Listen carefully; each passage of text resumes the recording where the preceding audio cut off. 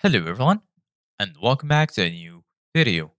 In this video, I'm going to show you guys how you can enable your microphone in Microsoft Teams. So if you guys want to learn how to do it, just follow the steps that I'm going to show you.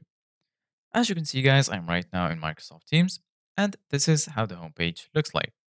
So right here in the left side of your screen, you're going to find all of the sections. There is the activity section, community, chat, and lastly the calendar. So once, once you go to the uh, calendar section, right here you're going to find all of the scheduled meetings. And right here in the top, you're going to find the option to join a meeting with the ID and also the passcode. You can click on Meet Now if you want to start a meeting right now. And here you're going to find New Meeting.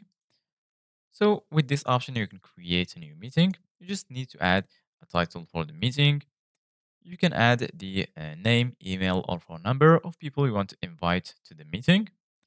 Right here, you can set a date and also time for the meeting.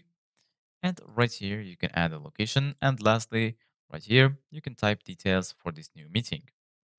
Once you finish, go ahead and click on save. And then the uh, meeting will be created. So right now, I'm going to click on meet right now. Then click on start meeting to start the meeting.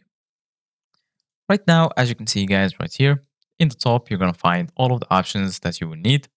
Right here, you can either turn on or off your camera. Here, you're going to find the option to mute or unmute your mic. So if you want to enable your mic, make sure that your mic is unmuted from here. If you want to share your screen, you can just click on share right here. And lastly, right here, you're going to find the option to chat you can click on chat and then you're to be able to show the uh, conversation. And if you want to leave the meeting, just click on the leave right here. And then you're good to go. So this is it guys for today's video. Thank you guys for watching. See you guys in the next video.